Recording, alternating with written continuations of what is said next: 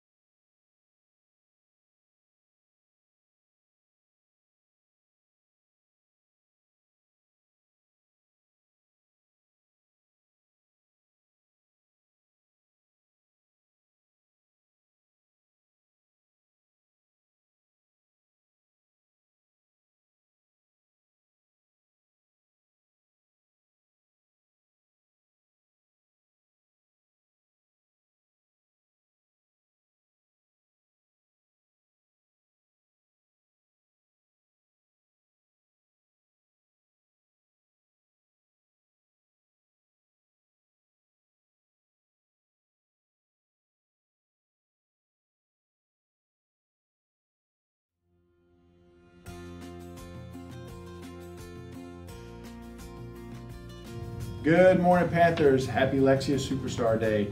Today I have a special guest with me. This is Mr. Janisek. He is principal for the day from Leon County Foundation. Um, he, so you'll see him around campus.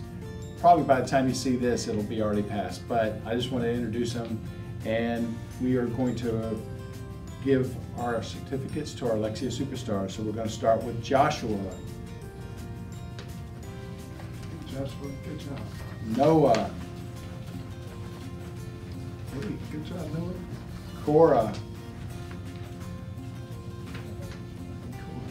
Audrey, Shelby, Luke, Annabelle, Nina, and Adam. Good job, guys. You could be Lexia superstars just like the rest of these guys. Keep up the good work, and I'll see you around campus.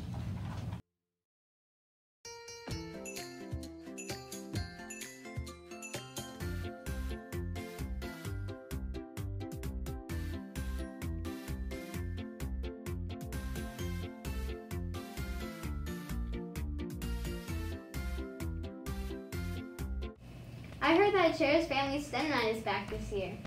Yes, join us March 8th from 7 to 5 p.m. here at Chaires to visit booths by FSU, MagLab, C2C, Challenger Learning Center. Redemption Love Farm, our very own Mini Makers Club, and if your grown-ups allow, Mama P's ice cream truck will be here selling ice cream. But that's the only thing you have to pay for. Everything else is free.